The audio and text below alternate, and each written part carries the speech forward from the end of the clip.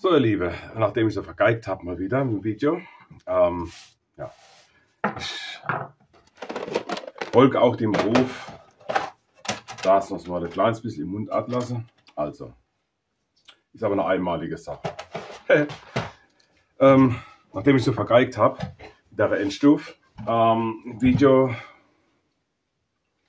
mache ich es eigentlich nochmal auf und äh, guck mal nochmal rein, was ich da gebroten habe. Jo, dann eigentlich will ich euch ja nur zeigen, was ich da gelöst habe. Ähm, da ist die Leiterbahn. Die hört da auf und dann fehlt das Pad. Dann habe ich jetzt einfach einen Draht gebogen, der der alte Leiterbahn folgt. Der ist gebogen, da drum Fisch gebroten. Das ist alles. Ne? Ja, mehr ja, gibt es ja glaube ich jetzt gerade nicht zu zeigen. ja, ne? Schau, wie lange der Gimbal das Bild ruhig hält. Du seht ja, was ich gebroten habe. ja, so, das soll es noch als Nachwurf gewesen sein. Ne?